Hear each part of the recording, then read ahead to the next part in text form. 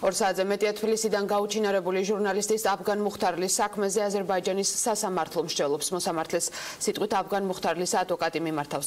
დაკავებულის ქართველი უფლება დამცველის დამცველი წაყენებულ ბრალს უსაფუძვლოს უწოდებს და სასამართლოს ობიექტურობის იმედი არ აქვს. ჟურნალის პროკურატურა სამი მუხლით ედავება საზღვრის უკანონო კვეთა მესაზღვრეებისთვის წინააღმდეგობის გაწევა და კონტრაბანდა. მუხთარლის აზერბაიჯანული კანონმდებლობით აწლიანი სასჯელი ემუქრება